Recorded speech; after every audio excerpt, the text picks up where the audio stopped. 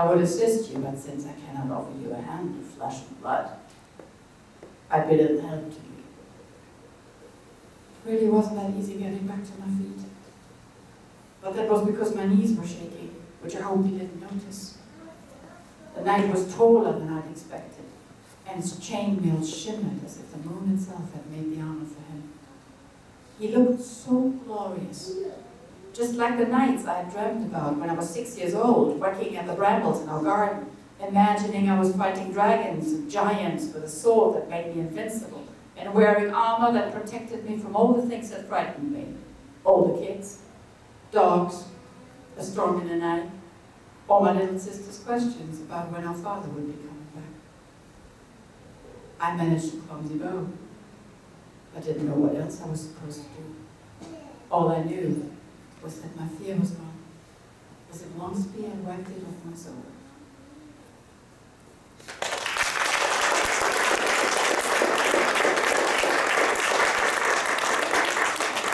So, that was my turn, now it's your turn. Do you have any questions? No questions? Are you kidding me? We have giveaways for questions. I got, oh, he's, he's starting to go to work. So, What was your favorite book that you wrote? You know, that's very hard. That's as if you ask me, is your son or your daughter your favorite? It's like I wrote 60 books in my life. There are picture books in there and easy readers and some really fat books and then books like this. And I would say the favorite is always the one you're in. But then when I read from a book, at that moment, that one is my favorite. So I cannot really say. It's really like, you know, a swarm of children all standing around you, printed children, and they're like, hey, pick me, pick me, I'm your favorite, I'm sure. So, yeah. So I will not mention any names or the others will be offended. yes. When did you first start writing? I was very old. I was 28. Which for most children is like, oh my god, I think I would be dead until then. It's- it- so, um, I was a social worker first because I wanted to do something with children. I was surrounded by wild children working, and they inspired me endlessly, so I think I still owe them my writing. I became a book illustrator, and then when I was very bored by the stories they sent me, I became a writer. And suddenly realized, I guess that's what you're supposed to do, Cornelia. But I always tell children, believe me, sometimes you have to go the crooked ways. You will not know exactly what you will turn out to be or what you are supposed to be. I am the best example. What inspired you to write the Ink series? That, that, which one? The Ink? The Ink series, that is a little complicated because many books I see a scene in my head, or I see an image, or I have an idea, or I traveled somewhere, and there it is, the book is there. With the Ink books, it was a mix. First of all, I lived for three months with my husband and my daughter in Liguria, which is the north of Italy, in a tiny village. You have to imagine it is a village, 300 inhabitants, narrow alleyways from the Middle Ages, so you will never be able to squeeze a car through. Sometimes they do with their motorcycles, which is very scary. And you still see sometimes that they took the sheep out of the houses and drove them down the mountain. And I lived for three months in this place, and I thought, oh my God, it's like a time machine.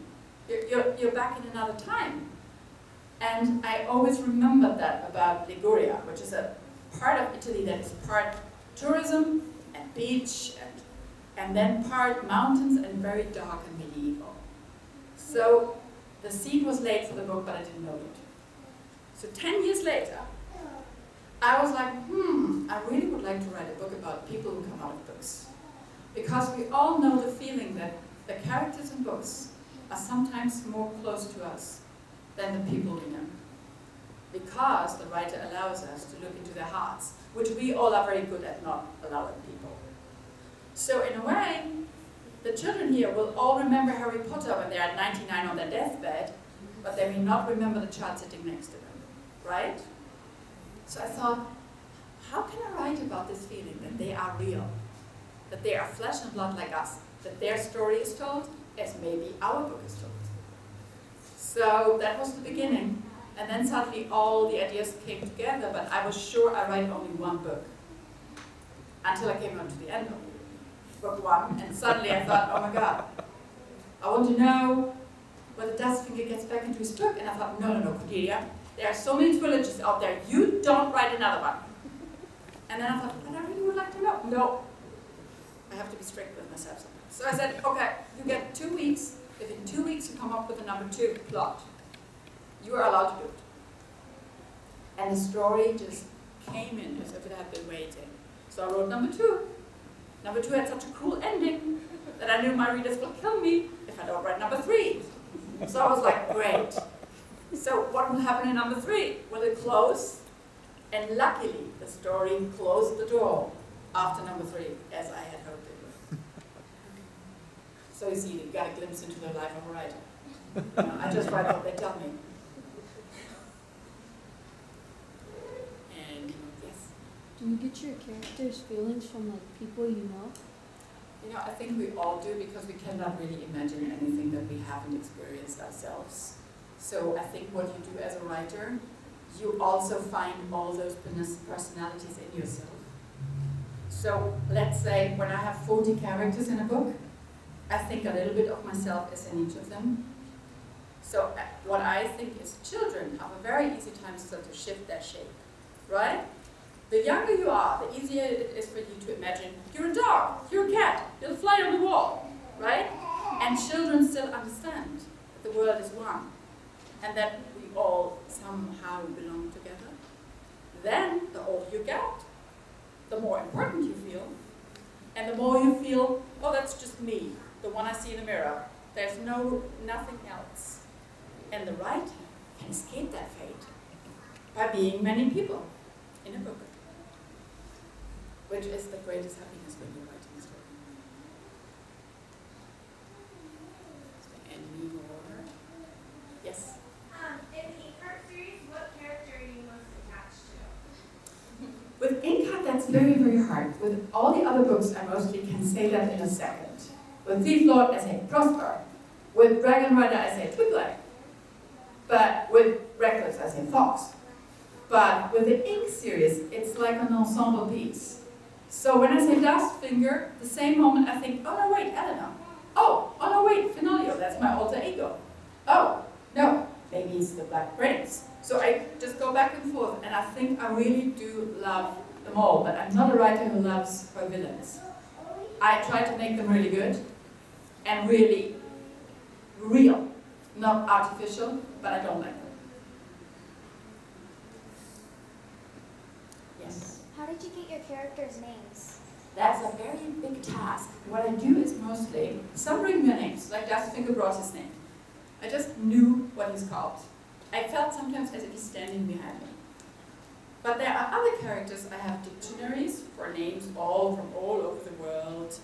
And I go through them and I wait for the goosebumps. Sometimes it doesn't happen for quite a while and I do an X for the character. And then at some point, you just think, hmm, that name tastes like him. Because, you know, I don't draw them, I don't show them to you, you know? So in a way, I mostly never portray my main characters to give you the freedom to imagine them the way, the way you want. So I have to describe them with a name. So the name is of great, great importance. And then you sometimes have surprises like I did with the thief lord.